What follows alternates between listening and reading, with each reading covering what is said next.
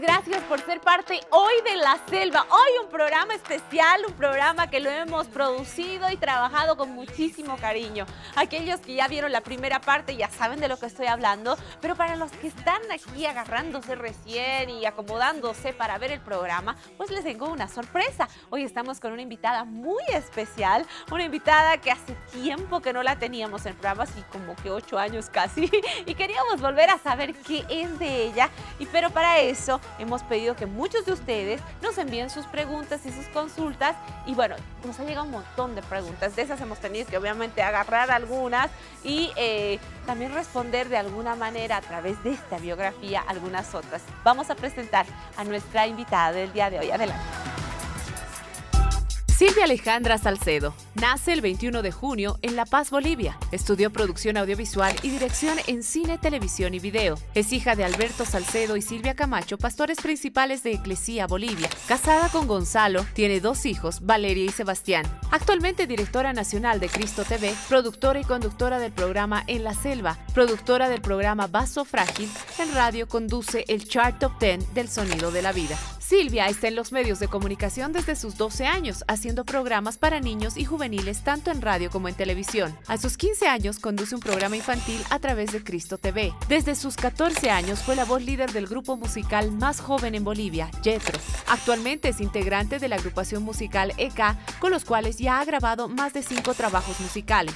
En 1998 organiza el primer festival de bandas de música cristiana con el nombre Gospel Fest. En el 2008 conduce y produce el conocido programa juvenil En la Selva, emitido por Cristo TV Enlace Bolivia y además EJTV, siendo uno de los programas innovadores por los diferentes sectores, dándole su toque personal. En el 2012 recibe el reconocimiento Prócer Pedro Domingo Murillo, otorgado por el Gobierno Autónomo Municipal de La Paz en el grado de Honor Cívico a Mejor Programa para Jóvenes, otorgado por la concejal Silvia Tamayo. A finales del 2012, En la Selva publica el libro Fábrica de Confesiones, basado en el sector del programa más popular y de gran acogida por nuestra audiencia que lleva el mismo nombre. En el 2013, el programa En la Selva fue ganador del galardón Titicaca 2013 otorgado por el Estado Plurinacional de Bolivia. El 2014 es invitada al show de jóvenes organizado por EJTV en Costa Rica para ser parte de la conducción en el evento y representando a Bolivia. En los años 2014 y 2016 fue nominada a los premios Águila como mejor conductora femenina a nivel internacional.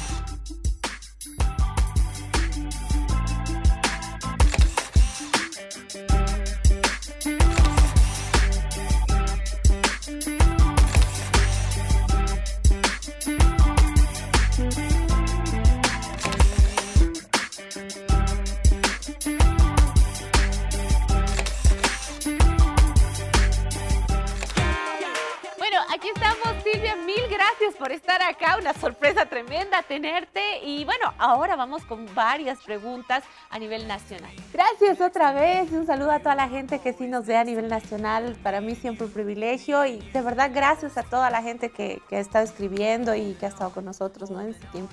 Ok, comencemos con esas preguntas tal vez de aquellas personas que te conocen un poquito más. También aquí la gente del trabajo ha querido preguntarte algo. Y Vicky dice, Vicky, ¿qué consejo de tu papá o mamá marcó tu vida ¿Cuál es la trascendencia de llevar el apellido Salcedo?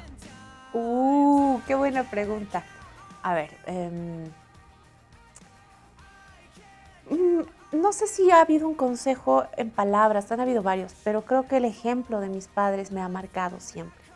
El que mi madre siempre nos ha inculcado la oración a mí a mi hermano, esa ha sido la clave de mi vida. Sé que en momentos en que a veces yo como hija de pastores no tenía a quién preguntarle algo porque eh, siempre está el tema de si le digo esto, va a juzgar a mis papás o me va a juzgar a mí, mejor no. Y siempre había como, ¿qué hago? ¿A quién pido consejo? Lo único que hacía era dirigirme a orar, a orar, a orar. Muchas veces sin respuesta, a veces en el aire, pero sé que eso me ayudaba a mí muchísimo a, redirigirme, a, tener un estilo de vida diferente. Así que eso sí me ha marcado. Y por supuesto, eh, el, tema de, que mis papás, mi padre, eh, ha sido un hombre tan visionario, un hombre tan, tan fuerte y siempre tan positivo. Eso también me ha marcado, creo que me ha dejado una huellita y de alguna manera eh, siempre trato de seguir sus pasos. Eh, el ser hija de Alberto y Toto Salcedo es un orgullo y es una cosa bien linda porque me deja eh, un peso de, haber, de, ser, digamos, la segunda generación de cristianos de verdad. Wow. Creo que es eso. Bueno, vamos con otra pregunta. Elena dice, ¿qué se siente representar a un medio de comunicación tan importante? Ah, ¿Qué se siente representar un medio de comunicación como cristiano? Eh, ¿Bien? pasa es que no lo asumo así tan grande. Posiblemente eso me hace... Eh, sí, porque si tuviera, Ay, soy del sistema cristiano. Sí, sí, porque me siento muy feliz de estar aquí por todo lo que hemos construido. Pero al mismo tiempo, uno se hace humilde al saber que hemos recorrido tanto y nos falta tanto todavía y nos falta tantas cosas en todo sentido, pero no, no es algo así como wow para mí, no, no lo tomo así, perdón. Está bien, es, es, la verdad. Vamos con más y aquí hay gente de los medios de comunicación en Bolivia que también han querido hacerte preguntas. Vamos al video. Querida Silvia, un cordial saludo, un abrazo cariñoso. Eh, a través de esta grabación eh, pues permíteme hacerte la siguiente pregunta. ¿Alguna vez en tu caminar como cristiana has tenido el deseo de tirar la toalla? De antemano, gracias por tu respuesta y de nuevo todo mi cariño para ti. Miriam, para ti un abrazo grande y muchas gracias. Por supuesto que sí. Por supuesto que sí. Y no una, miles de veces. Es más, anteayer. Pero sí, o sea, sí pasa. Y, creo que esa es una de las cosas, ¿sabes qué más lindas? El de ser y sentirse ser, ser humano, a pesar de ser cristianos. Lo que pasa es que a veces cuando somos cristianos parece que no podemos llorar, no podemos cargarnos, no podemos renegar, no podemos mil cosas, cuando no es así. Eh, tenemos la, el corazón vulnerable siempre, las emociones a flor de piel y es ahí donde Dios nos agarra y nos sostiene y nos enseña. Y de pronto cuando tú te preguntas, cuando tú te cuestionas, cuando tú te enfrentas a muchas cosas, pero vas directamente a la fuente de la verdad, jamás vas a salir decepcionada, jamás vas a salir diciendo, ay, sí, realmente mejor me voy. No, siempre Dios me ha levantado, siempre Dios me ha dado una respuesta, siempre Dios me ha sostenido, aún en esos momentos tan difíciles, como tú dices, de verdad que uno quiere tirar la toalla y dejar todo y ya, basta, ahí, chao, me voy. Rolo es una persona que también te conoce hace muchos años y, seguro te vas a ubicar de él. Dice, ¿cómo te ves de aquí a 10 años en tu vida familiar, profesional y ministerial? Ay, ¿por qué me hacen preguntas a largo plazo? es lo más complicado. ¿Saben? No es que no me gusta prever a largo plazo, pero es como que con la vida que tengo, que los que me conocen van a entender, he aprendido a vivir el día a día. Eh, no es que no tenga sueños, pero mi afán es en el día a día. Sé que mi día a día es tan espontáneo que puede cambiar a los dos minutos y yo tengo que estar preparada para lo que venga. Si ahora me pusiera a pensar, Dios mío, no sé, no sé qué responderte, no, no lo he planeado, no me he visto ni siquiera en dos años cómo voy a estar, de verdad que sí, no lo tengo. Simplemente te puedo decir que quisiera estar haciendo lo que Dios quiere en paz, con mucha paz, en mi vida, en mi familia, en mi alrededor. Eso es lo único que le pediría a Dios, paz y salud nada más. Wow, Veamos entonces si ahora hay un poquito más de, previsión y de, y de, que se de sueño a futuro, porque aquí dice, escucha, ¿alguna vez pensaste en formar parte del pastorado y liderazgo en los jóvenes? No. Oh. te pregunta. Así tajante. No, jamás. Oh. He oído mucho tiempo de eso en mi vida. No, no, no, no, no. No. No, no, no, no, no, no, no tengo otra respuesta, no. No me he visto. No significa que no lo vaya a hacer. Posiblemente sí, no lo sé. Pero yo así verme, apuntar a eso, no. No, no, no. basta tu sinceridad. Otra pregunta, cambiamos la pregunta, vamos. Yo soy José Carlos. Y yo Jesús. Bueno, quería saber qué piensas acerca de que hay muchos cristianos, pero comprometidos y temerosos a Dios. ¿Qué opinas? Un beso, bendiciones. ¡Chao! Y este regalo es para vos, Invita y para el pastor Toto. Muchas gracias, qué alegre que sí, yo también debería tener un muñequito para responder. Bueno, ¿qué pienso? Que es una triste realidad, pero que pasa en cualquier lado. No podemos eh, pensar de que todos tomen eh, el tema del cristianismo como se debería tomar o como muchos otros lo toman. Todos somos distintos. Lastimosamente, y, desde los tiempos de, Jesús, hay tibios, hay calientes y hay fríos. Así que me, da mucha pena que sí se vea el cristianismo como ah, un club, como algo que está de moda, o como que, ay, no quieres, quieres ser bien sanito, no tomar ni fumar, bueno, anda a serte cristiano, ¿no? Más o menos la gente lo ve así. Y creo que va más allá de eso. Ojalá eh, podamos de verdad reflejar lo que es el cristianismo en realidad, porque esto viene también a ser una autocrítica, no, no podemos decir, ah, es que la gente lo toma así y es así porque le da la gana no, no hace bien el cristiano, no, no es un buen cristiano, no. También está de parte de los que supuestamente creemos estar llevando un cristianismo real, porque posiblemente no estamos afectando como tenemos que afectar, no somos el ejemplo que tenemos que ser, no, no estamos jalando a la gente a lo que tiene que ser, o sea, tenemos que revernos. Y eso me refiero a los pastores, a los líderes, en todo lado, o sea, algo estamos haciendo mal que no estamos afectando como deberíamos afectar a la gente.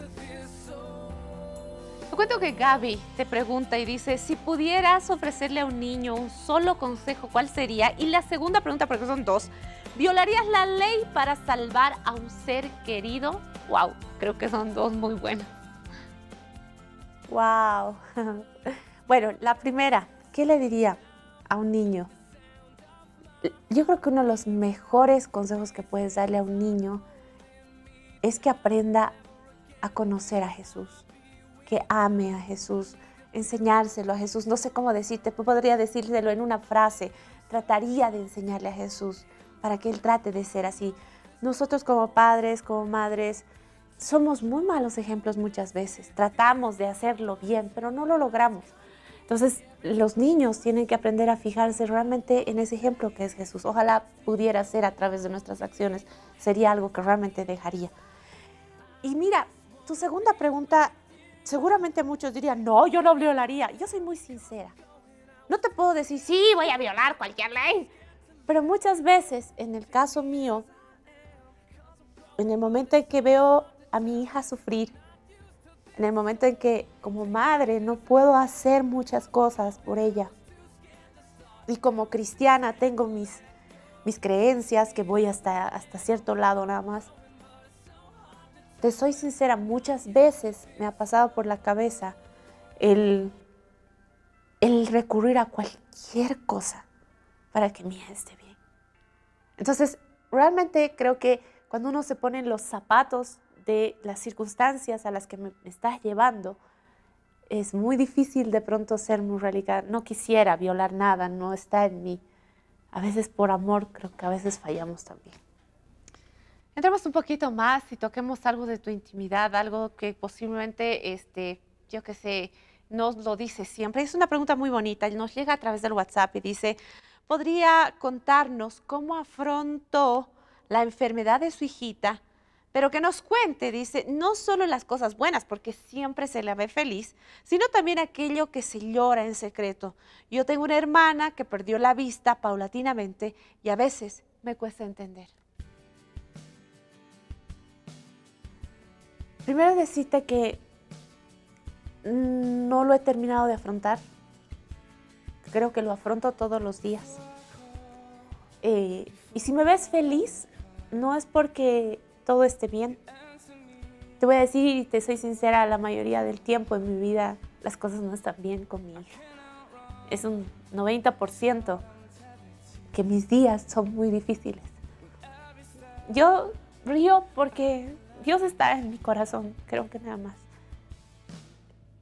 Creo que muchos años de mi vida he afrontado esto y ha sido más llevadero porque no, mm, no me he preguntado el por qué. Simplemente lo he aceptado como un designio, como algo que me tocaba a mí vivir. No lo he visto como un castigo, no lo he visto como, como oye Dios, yo te sirvo, ¿qué pasó? ¿No? Te equivocaste, esta no era. Jamás. Yo le dije a una persona una vez y le digo a varias personas que vienen donde mí con, problemas similares, eh, ¿por qué a ti no? ¿Qué tienes tú de especial para que no te toque algo así? Creo que todos nos puede llover. Dios hace llover sobre justos e injustos y tiene que caernos igual. Lo que veas bueno o lo que veas malo. Eh, me, confronto muchas veces con muchas cosas que le pasan a mi niña que no puedo yo como ser humano ayudarle a resolver o aliviarle un poco. Y lo único que hago, sí, posiblemente muchas veces le grito a Dios, ya basta, ya no puedo, quítame esto. Pero digo, Dios mío, qué egoísta que soy al mismo tiempo, cuando en realidad la que quiero que esté bien es ella, no yo. Y lo único que sí te digo es, no te preguntes el por qué. No, lo, vas a encontrar respuestas. Tal vez en un largo tiempo, a mí me ha pasado, en, mi caminar en un largo tiempo sí he encontrado ciertas respuestas. Eh, decir, ah, esto ha pasado por esto, ajá, esto es por esto. Y atar cabos es interesante, pero machucarte la vida con el por qué, por qué, no. Simplemente por qué, porque sí, te tocó, le tocó, afrontémoslo, podemos salir adelante. Y esto que me levanta todos los días, nunca Dios te da una carga que no puedas tú llevar. Siempre vas a poder salir, aunque sea difícil. Aunque realmente muchas veces uno se haya encontrado en el piso tirado, como yo, de verdad, literal, tirada, sin fuerzas. Este, hay, hay un nuevo día, hay un nuevo día donde puedes encontrar misericordia, amor, gracia, paciencia y un nuevo propósito y seguir adelante. Y si tendría que contarte más cosas sería más largo, así que no voy a hablar. No, gracias, gracias por tu sinceridad.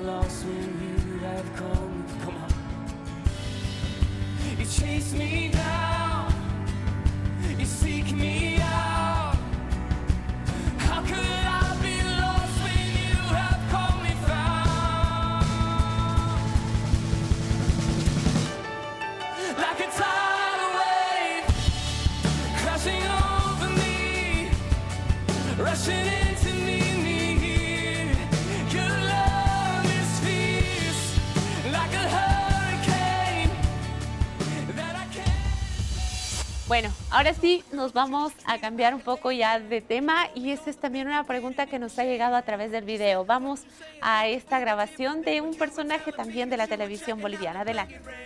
Hola Silvia, te mando un saludo, soy Richard Pereira, eh, lindo comunicarme contigo.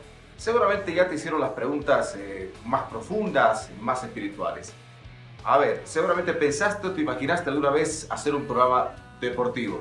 Y si no, ¿cómo crearías un programa? ¿Con qué línea? ¿Con qué formato? ¿Te ves en esto?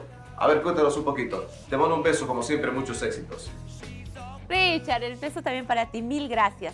Eh, sí, me veo haciendo un programa deportivo chan, cha, cha. La revelación del momento. ¿En serio? Sí, me veo. Pero haría un programa así loquito. Eh, El formato eh, eh, me centraría. Sé que en el tema, cuando estás haciendo un programa deportivo, de pronto no hablar de fútbol o meterse mucho en el fútbol no te trae mucho rédito. Pero creo que haría un programa mezclado entre salud, nutrición y deporte. Y realmente mezclar todo esto porque eh, pienso que es la base fundamental para que estemos sanos en todo sentido. Así que le metería de todo eso, obviamente también viendo eh, los deportes que no se ven tanto, ¿no? De, de- de de niños, el bicicross, cosas así que, que realmente es bien complicado. Y eh, me gustaría también traer a los protagonistas y hacerlos conocer, hacerlos famosos, que la gente pueda tener eh, sus ídolos, entre comillas, su gente a la que admire, pero esa gente sana, esa gente te inspira, te da un ejemplo. Yo más o menos haría un programa así y sí me veo haciendo deporte. Me gusta el fútbol además.